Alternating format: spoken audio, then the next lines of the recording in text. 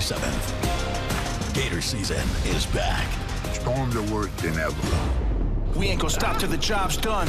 We ready to roll out. But Mother Nature is coming for the bayou. This thing could be another Katrina. St. Mary's Seafood can't be replaced. If this hurricane comes right in on top of me, I'm done. This could be the end of gator season for us. Swamp People, new season January 27th on the History Channel.